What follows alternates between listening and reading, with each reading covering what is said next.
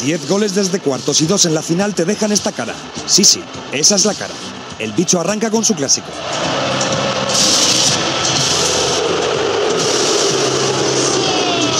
Y se golpea el pecho.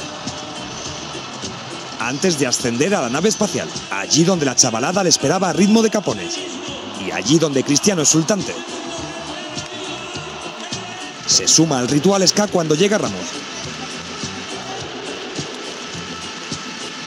Habla Zidane. Mira a Ronaldo. Miren a Ronaldo. Y todos estamos aquí por eso. Le ceden la palabra.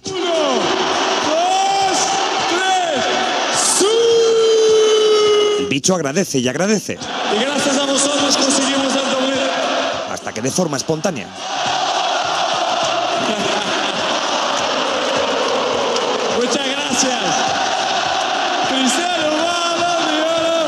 Arranca la gala del balón de oro.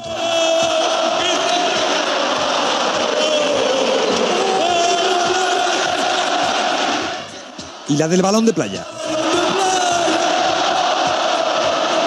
Gracias afición.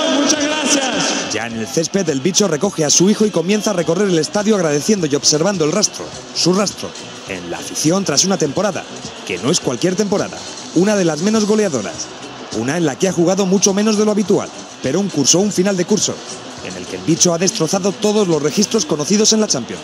En breve será el tercer capitán del equipo y en breve arrancará su décimo año en el Real Madrid, el del quinto balón de oro.